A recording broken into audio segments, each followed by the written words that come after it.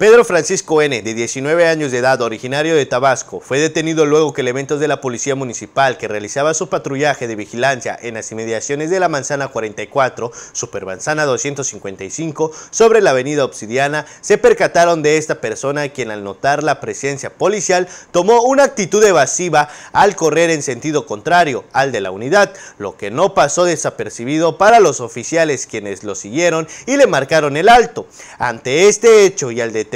le realizaron una inspección a su persona en la cual se le encontró un arma de fuego tipo revólver con una cacha color café calibre 38 especial abastecido con seis cartuchos útiles. Los oficiales procedieron a detenerlo y trasladarlo de inmediatamente a las instalaciones de la Secretaría Municipal de Seguridad Pública y Tránsito para certificarlo médicamente y ponerlo a disposición de la autoridad correspondiente junto con la arma asegurada